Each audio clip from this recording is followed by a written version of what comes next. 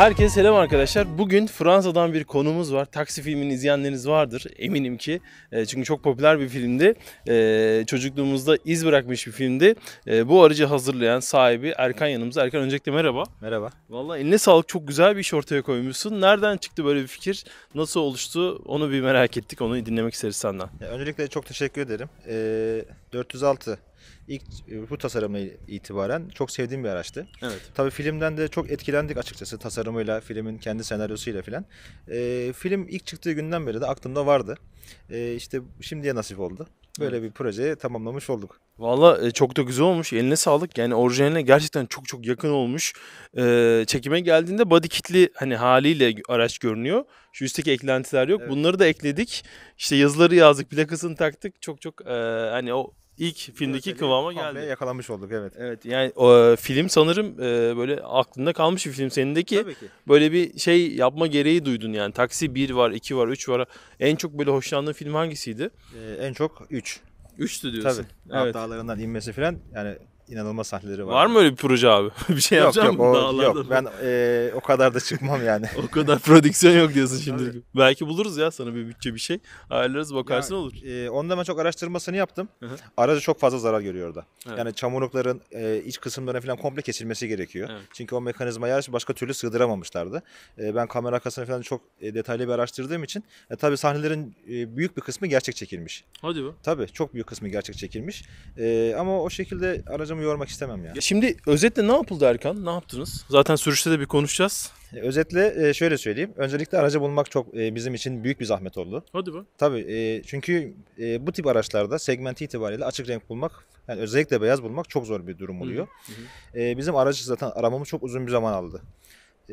Şöyle söyleyeyim bir ara hani başka bir renk düzgün bir araç bulalım boyatalım diye uğraştık. Onda e, girmek istemedim.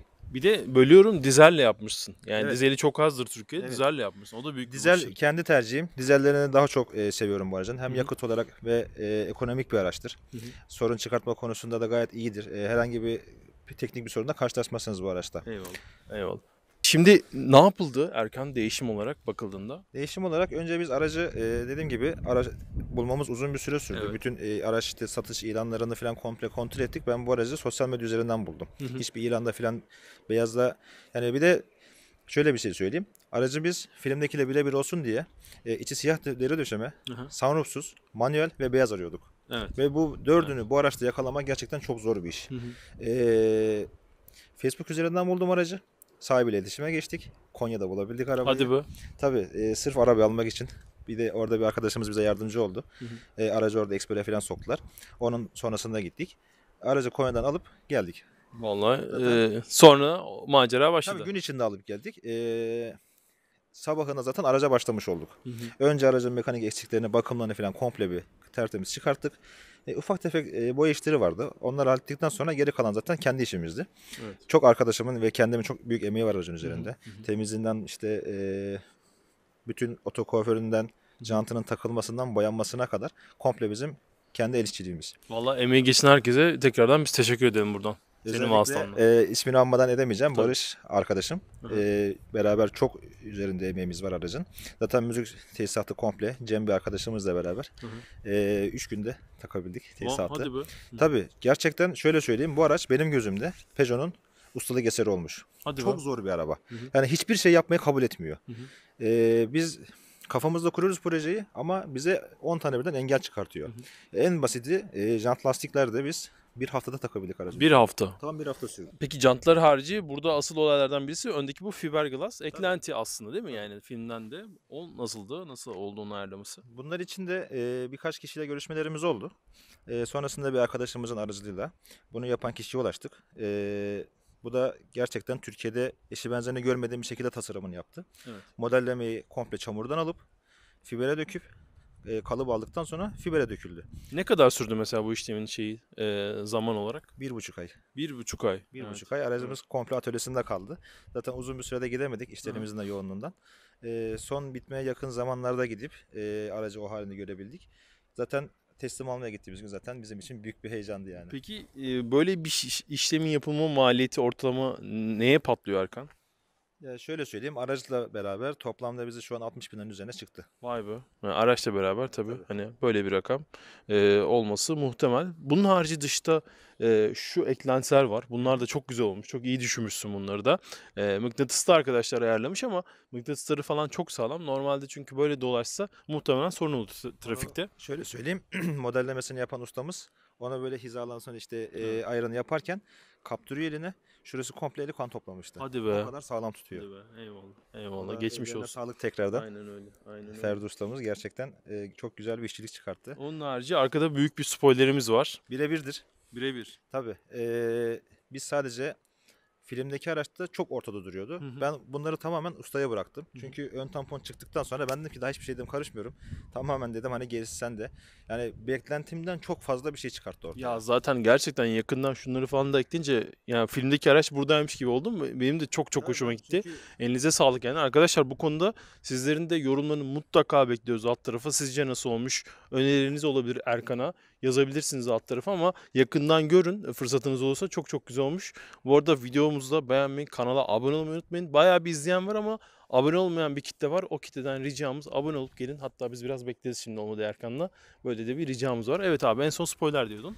Spoiler'de de e, ustamıza bıraktıktan sonra e, filmdeki araçta hı. tam böyle e, bagajın ortasına yerleştirilmiş. Hı hı. Bagajın da etrafı böyle oval şekilde döndüğü için görüntüde bir bozukluk yaşadık. Evet. Biz sadece biraz geriye aldık. Hı hı. Geri kalan yatay kısım mesela çok e, farklıdır bunun. Hı hı. Ben yurt dışında yapılanlarını çok araştırdım, çok inceledim. E, hiçbir kişi o ayrıntıyı yakalayamamıştı. Evet, evet. Jantlar da çok özel bir jant aslında. Bu yarış jantı diye de geçer. Aynen. Oz Racing. Ee, evet yani daha hafif jantlar. Çok da şık olmuş. Çok da yakışmış. Bu birebir aynı ölçü mü yoksa yakın mı? E, yakın. Biz filmdeki zaten aracın üzerindeki jant marka olarak Türkiye'ye girmiş. Ama Evet. o seri Türkiye'ye girmemiş. E, zaten üretimden de kaldırılmış olan bir janttı. Çok araştırdık. E, yani çıkmaları ikinci ellere internet üzerinden satışta vardı ama yurt dışında tabii ki. Güvenip alamadık açıkçası. Hı hı. Sonra e, en yakın model olarak bunu bulabildik. Evet. Tabii dediğim gibi bunu takmak bayağı bir yordu bizi. Enteresan muhabbetler oluyor mu bu arada? Trafikte sağda solda, sosyal medyada Tabii değişik tabii e, ki. diyaloglar oluyor mu? Onları da merak ediyoruz. Ya e, herkes 15 dakikaya havalimanında olmam lazım gibi bir Ha. genel bir espri var. E, sonrasında aracı bazen biz böyle e, keyfi amaçlı geziyoruz aynı bu haliyle. Gerçek taksi sanıp durdurmak isteyenler oluyor. Hadi Hatta bir beyefendi öyle bir ufak bir münakaşamız oldu. Hadi be. Tabii. Dedim hani araç dedim gerçek taksi olsa dedim içinde hani insanlar var dedim. Hani Evet. dedim niye dedim hani bana bağırıyorsunuz filan. E, şikayet edeceğim filan dedi. Ben dedim hakkınız dedim edebilirsiniz dedim. Abi biraz bence renk körüymüş çünkü Ya, beyaz yani yani. her şeyden önce. Yani. Türkiye'deki tüm taksiler sarı. Biz de saygı göstermek zorundayız. Bir şey diyemedik de yani e, oluyor. Bir tek bir olumsuz şey, o şekilde karşılaştık. Harici bir olumsuz durumumuz olmadı. Şimdi bir dönem biliyorsun Uber'lerle taksiciler arasında Evet. bayağı olay oldu. Tabii. Seni Uber zannetmesinler. Öyle bir sorun da yoktur umarım. Yok öyle bir sıkıntı olmuyor. Zaten çoğu kişi e, insanlarımızın çoğu aracı bildiği için e, güzellikle karşılıyorlar. Çok beğeniyorlar sağ olsunlar. Vallahi eline sağlık. Gerçekten güzel fikir. Çok da güzel olmuş. Ee, benim de çok hoşuma gitti yani. Açıkçası bu aracın şöyle bir hikayesi daha var. Ben e, geçmişimden beri çevrem arkadaşlarım çok iyi bilir. Bir Mercedes hayranıyımdır. Hı hı. Daha önce de Mercedes araçlarım oldu. E, bundan önceki aracım çok güzel bir 202 kasam vardı. Hı hı. 2000 modelde o da. E, onu satmak zorunda kaldım istenmeyen bir sebepten dolayı. Bir süre işte e, araç alma konusu bile düşünmüyordum. O araçtan ayrılmak biraz zor oldu benim için. Sonrasında dedim en azından hayallerimdeki dedim araca ulaşayım diye. Böyle bir şey yeltendim. Vallahi güzel fikir Erkan'cığım. Eline sağlık tekrardan. Gayet güzel olmuş. Dediğim gibi arkadaşlar sizin de yorumlarınızı alt tarafa bekliyoruz. Var mıdır başka eklemek istediğin? Başka eklemek Bizim atladığımız bir şey. E, herkese saygılar dilerim. Eyvallah. O zaman bir ufaktan bir 15 dakikada e, havalına gi- nasıl gidilir? Öyle bir video yapalım istersen. Bir kullanmak da istiyorum. Ee, nasıl bir hale geldi? Ufaktan arkadaşlar biz yola çıkalım.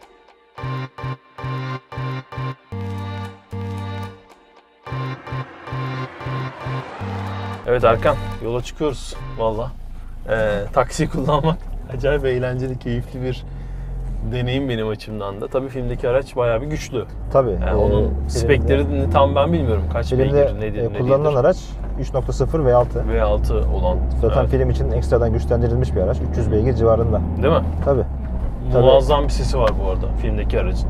Yani, Onda zaten egzozda devil marka kullanılmış. Hı hı. Evet, belki ara susturucular falan iptal edilmiş olabilir. O kadar detaylı bilmiyorum. Onunla ilgili bilgim yok. Yani alınan ses çok güzeldi o aracın. Hani hiç Evet. unutmuyorum. Bizim böyle çocukluğumuzda o bize nin- Tabii. ninni gibi gelirdi yani. Çok eğlenceliydi o başlangıç sahneleri falan filan. Ee, 3.0 V6 Peugeot motorlu 406'lar e, Evet. Türkiye'ye yani makyajlı kasada girmedi. Hı hı. E, ilk serilerde yani 97'de diye hatırlıyorum. Evet, kupelerinde var diye Kupelerde var de Türkiye'de. Ama ilk makyajsız kasalarda da birkaç tane gördüğüm oldu. Ama Evet. makyajlı da hiç denk gelmedim. Vallahi o V6 sesidir muhtemelen. Evet. Çünkü gerçekten güzel bir sesti. Hem atmosferik hem V6 olunca e, acayip bir şeydi yani. Onda Tabii. çekilen sahneler şunlar bunlar unutulmaz yani. Bizim aracımız 2.0 HDI. Evet. Böyle çok değişik bir turbo sesi var araçta. Evet. Ben aracı e, Konya'dan alıp gelirken turboda sıkıntı olduğunu düşündüm. E, turboyu biz komple revize ettirdik. Şu duyduğum sesi diyorsun. Evet. Bu kendi standart sesimiz zaten ama bir, de, bir devirden sonra kesiyor. Evet 2500-3000 arası Evet. değişik böyle ıslığa benzer ama ıslık gibi olmayan değişik Evet. bir ses. Güzel ya.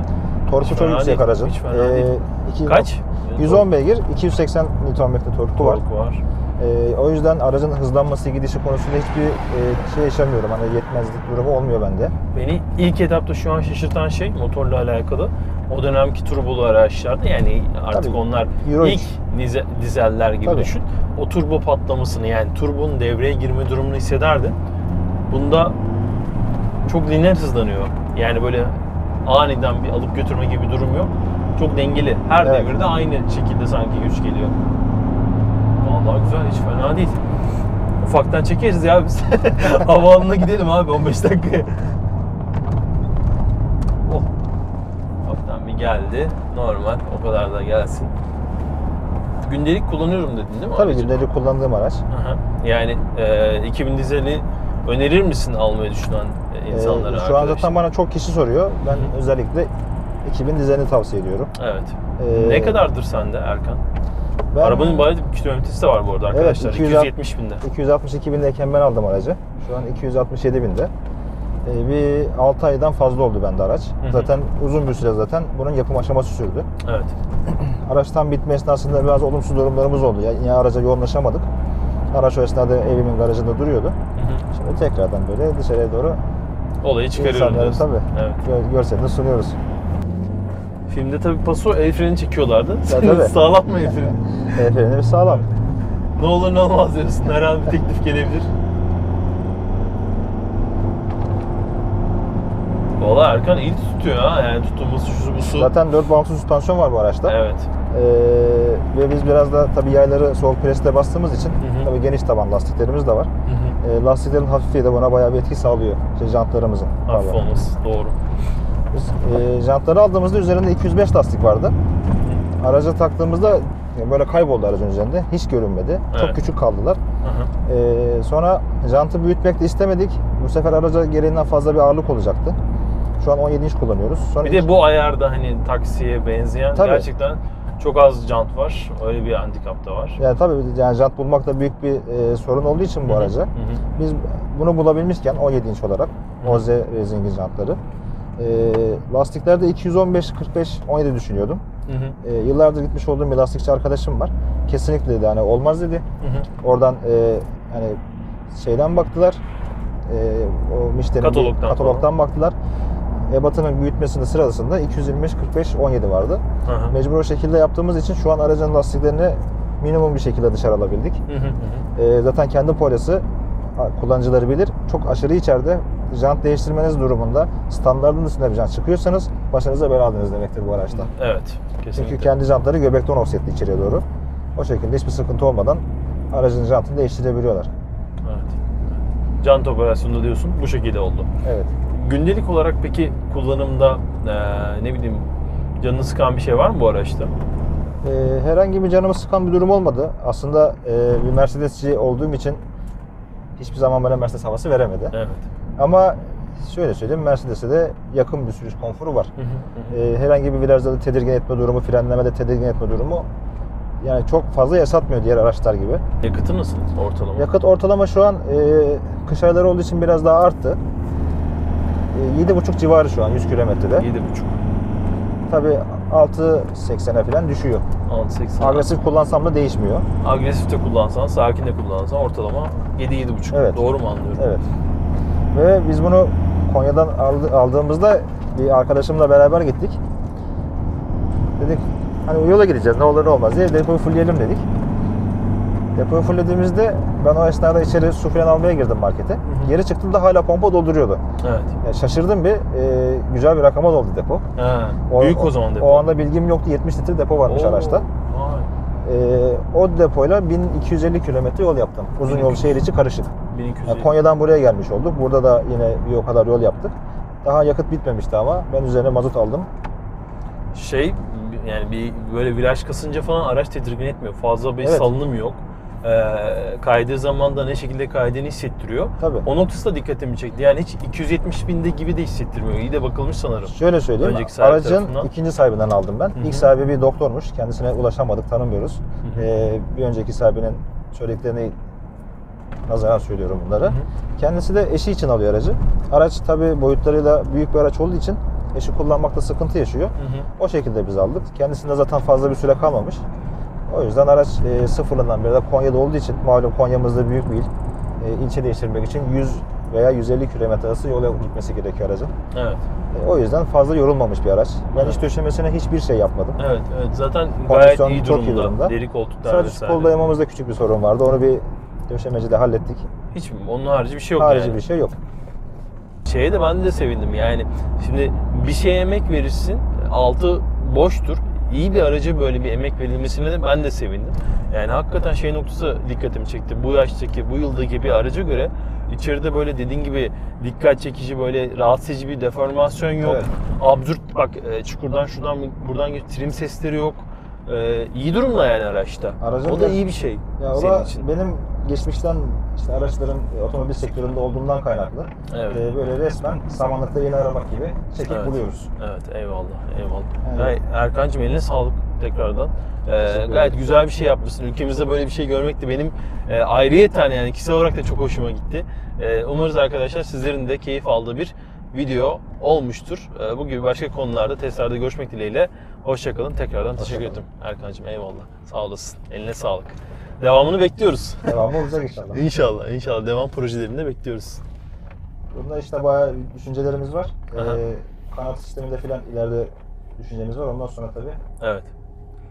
Çılgın bir projemiz olacak. Hadi be. Ama Diyorsun. bayağı uzun sürecek o. Yani, Yani birkaç çok farklı kapsamlı. birkaç e, otomobille alakalı yapılmış değişik filmler var ve o filmlerde hani ikonlaşmış otomobiller var.